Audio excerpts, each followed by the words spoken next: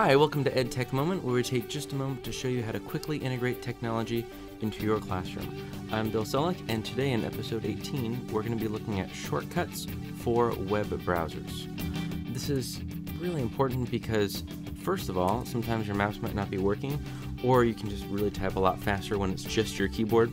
So I'll show you all the tricks to be able to navigate without a mouse or trackpad. And again, just like episode 16 with shortcuts, it's all about efficiency, just working that much faster. So let's jump right into it. All right, the first trick I'm going to show you is how to get to your address bar. If you push Command L, again, you can see when I hold down Command, that's Command. Command L will automatically highlight your address bar up here. And then you can just start typing. You don't have to push delete, just start typing and it will autofill. If I hit enter or return, takes me right to it. If I want to go to somewhere else with Command L, for example, if I know that it's edtechmoment.com slash 2012,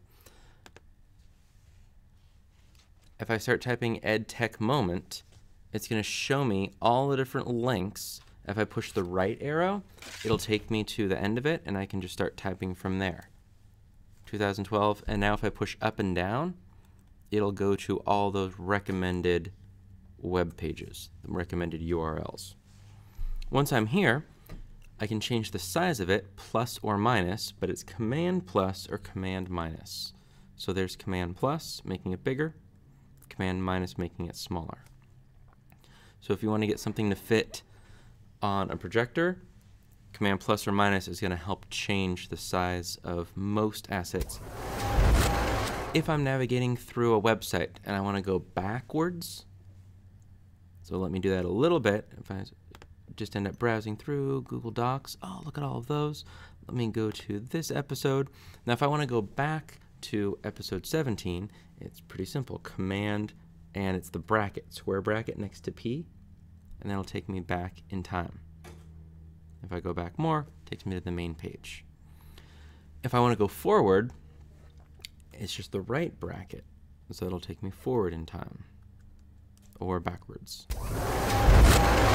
So the next thing let's take a look at is how to switch between tabs and how to create new tabs. You can see that I have three tabs up here. If I want a new tab, Command T for tab. So Command T, there's my new tab. If I want to switch, I have four open. This is Command 1, Command 2, Command 3, Command 4. So Command 1 will take me to the first tab, 2, Command 3, Command 4. That works in Firefox and that works in Chrome.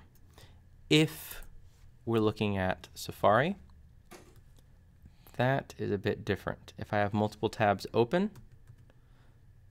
Command 1 doesn't take me to the first tab, it takes me to my first bookmark. This is my fourth bookmark, so Command 4 takes me to my bookmarks. So Safari is way different than Firefox or Chrome. If I want to close these, Command W will close on just about every single application you have. Command W closes, Command Q will quit. Same thing in Firefox and Chrome. Command W will close each one of these tabs, and you can see it still says Firefox. Q will quit. You can visit us at edtechmoment.com. If you have any feedback for us, you can email us feedback at edtechmoment.com or me, bill at edtechmoment.com. Definitely follow us on Twitter. You can tweet at us at edtechmoment.